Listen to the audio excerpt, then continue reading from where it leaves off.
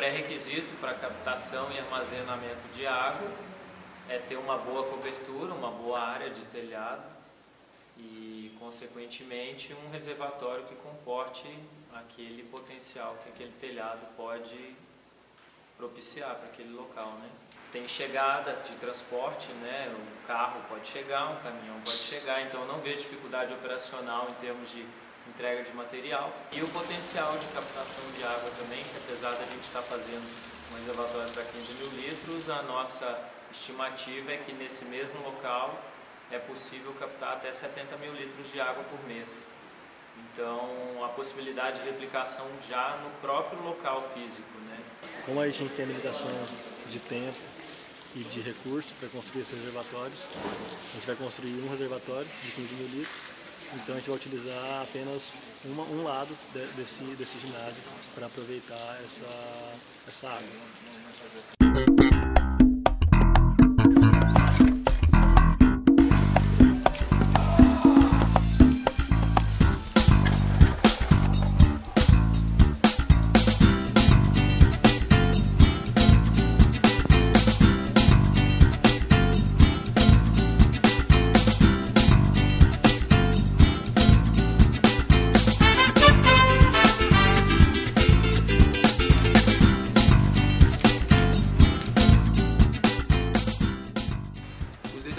Grande primeiro foi o clima.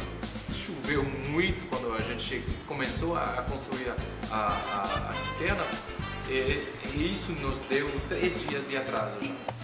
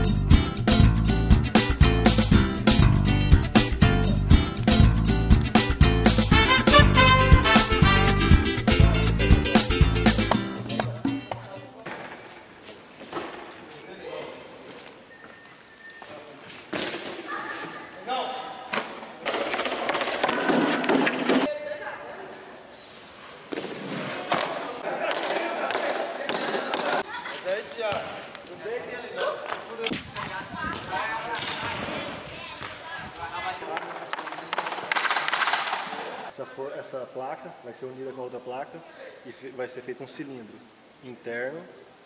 Por fora desse cilindro interno vai ter o cilindro de, é, de arame, a malha de ferro.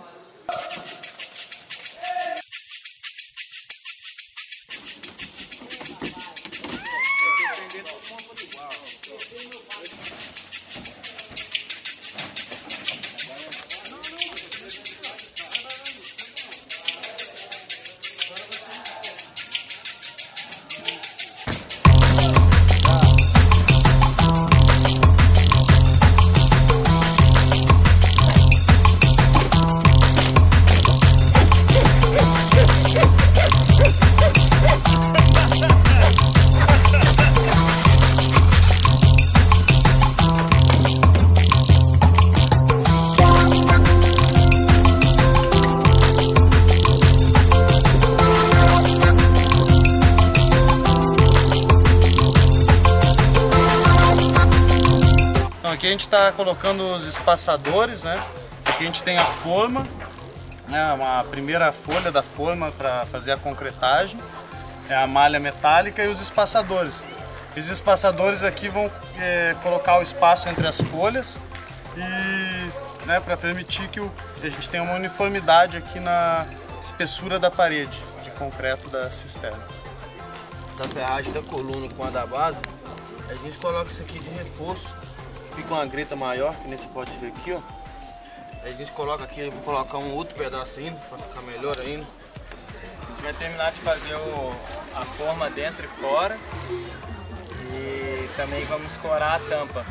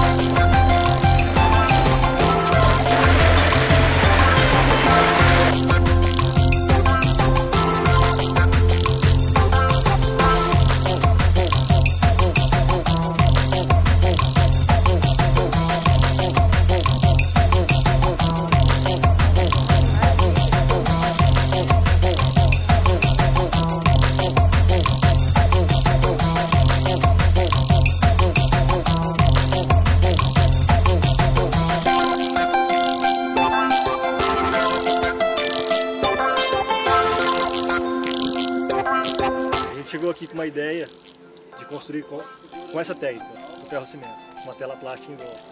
Porém, foi delegado a um pedreiro da cidade para nos ajudar a construir. E ele deu a ideia, deu a sugestão de a gente fazer a técnica de concreto armado, porque na opinião dele seria mais rápido o processo. Teria que fazer duas formas, uma interna e uma externa, para colocar, preencher com massa ao, ao, ao redor do reservatório. Então a gente pensou, estava dando muito trabalho para fazer as formas e a quantidade de massa, de cimento, areia que seria utilizado seria o dobro do que a gente está utilizando agora. Então demoramos muito, mas decidimos que não. Vamos fazer da forma como a gente sabe e assim, depois disso, fluiu muito mais o, processo.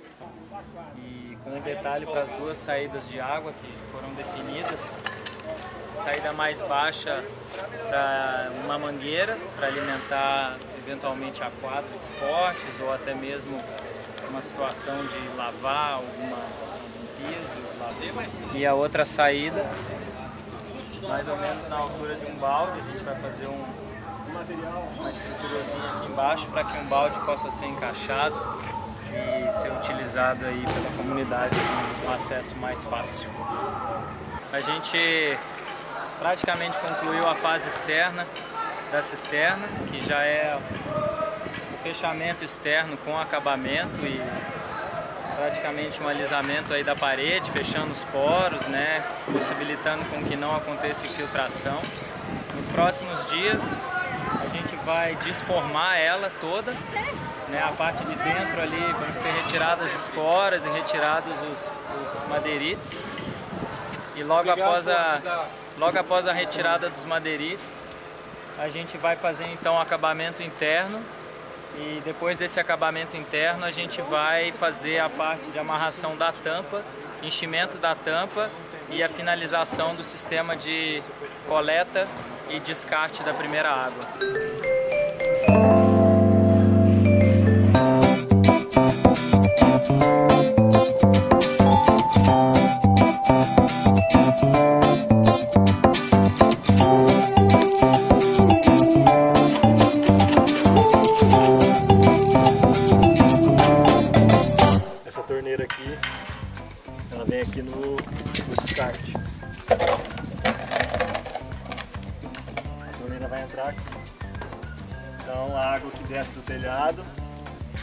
Primeira água que lava o telhado, ela vai ser descartada nesse reservatório. Então esse reservatório tem 125 litros. Então os primeiros 125 litros de chuva que lavam o telhado, que lavam a atmosfera, vem para cá e depois de completar esse volume, que ela começa a fluir para o reservatório.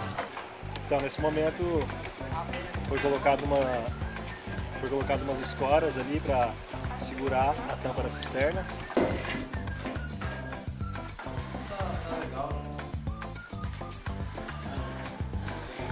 Virei nos pés do escoramento, tem uns que estão largando, também levantando o eixo da caixa.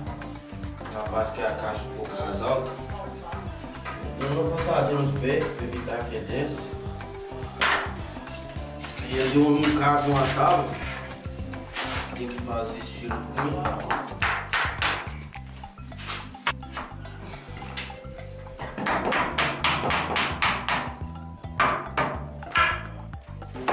colocada a tela e por cima da tela está indo uma massa de cimento, que vai ser a, a tampa definitiva da cisterna.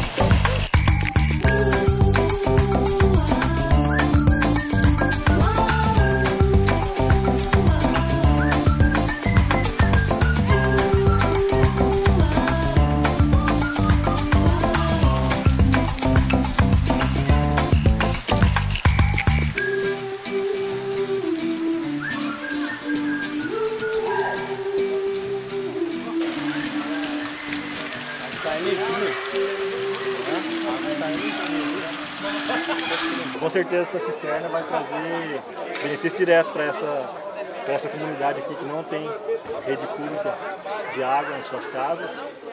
E a gente espera muito assim que seja, seja replicado esse projeto, né? que possa ter outras cisternas, que possa melhorar também, porque aqui as pessoas por enquanto vão ter que pegar essa água com balde aqui na cisterna. O ideal é que daqui a pouco tenham bombas que bombeiem essa água num reservatório mais elevado para poder, distribuir a água para as pessoas por gravidade, né? E assim as pessoas receberem água na, na caixa d'água da sua casa. E é isso aí, água de chuva, né? Uma benção que vem do céu, uma qualidade muito boa. E resta pra gente é poder aproveitar da, da melhor forma isso. Descer aí.